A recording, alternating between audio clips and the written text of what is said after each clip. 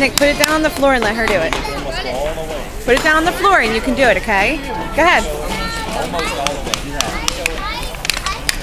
You might have to hold it for her so it doesn't push back.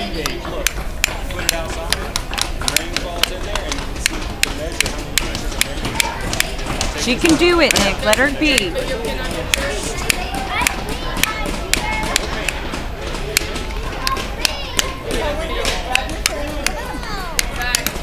think you gave it to Banana for Grandma and Happy. Put it in your. Sammy, Put it in the bag. Sam. We don't carry it, okay? are you building a birdhouse? I mean, a a sticker on rain gauge? Yours has enough